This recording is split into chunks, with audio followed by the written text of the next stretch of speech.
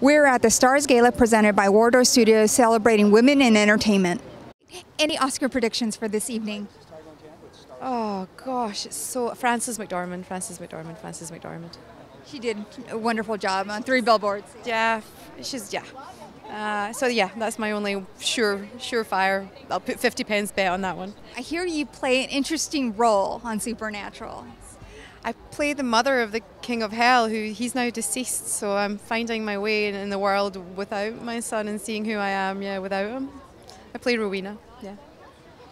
Well, that's an interesting role. Anything for 2018 that you would be um, playing? Yeah, well, yeah, because my, I was killed for the second time and I've just come back to life. So I've been filming more episodes and I'm super excited for the end of the season. They've really, really, they've thrown the kitchen sink at the end of the season. So I'm really excited for the fans to see to see that. It's